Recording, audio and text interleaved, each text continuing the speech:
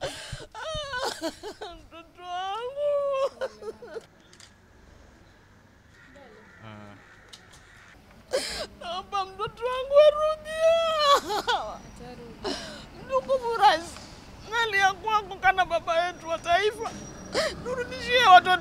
Jamani, wapate kuja nyumbani, hata kama hawana chochote. Walienda kujitafutia, lakini kumbe wameenda kujitafutia maisha mabaya, ama kwenda kujitia kwenye ziki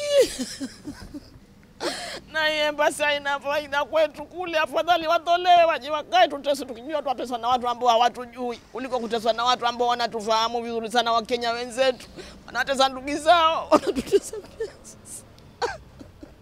mwaka mzima sasa kutoka aliposimamishwa kazi, wamempokonya kila kitu chake. Na mi najua kwa mtu hakutaki katika kazi, si anakuacha uende zako salama. Mbona wamemzuilia na huku akiwa hana mtu yoyote ambaye ni mtu wake?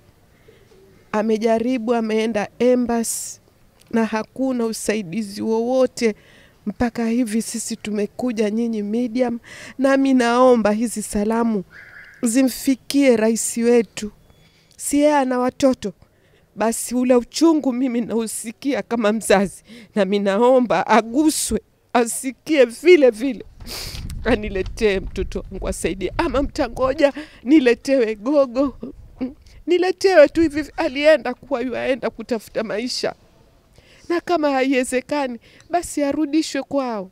Mbona achwe huko? Ama haki ni kuwa mtu ukitafuta ndio vibaya?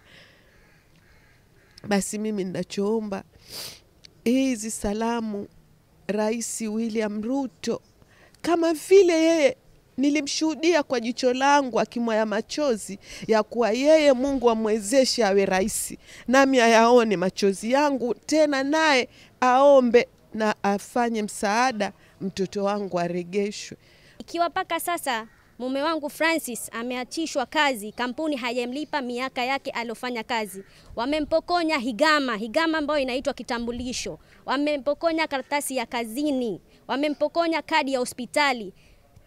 Mpaka sasa Francis analala msikitini, ikifika usiku misikiti inafungwa, Francis analala nje, anapigwa na vumbi, na mpaka sasa Francis mafua amemshika na ni mgonjwa, ataenda mali gani? Kitu tunachoomba Bwana Rais Ruto, tunachotaka waregeshe watu wetu nyumbani. Ah, Daudi amefanya kazi Saudia kwa miaka zaidi ya nane na shirika hilo la Almarai. Kufikia mwaka jana mwezi wa kumi walimsimamisha kazi.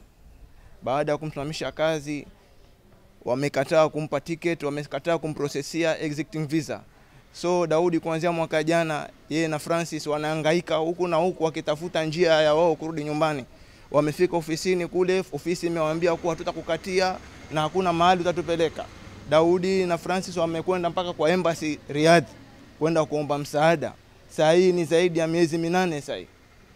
we call upon CS Bore, you know, the one for labor and social protection, and CS Professor Alfred Mutua, now that you are in charge of foreign affairs.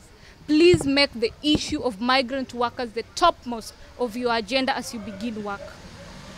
Because it cannot get any further. We cannot lose more people. And if no action is taken as Haki Africa, we will remain relentless.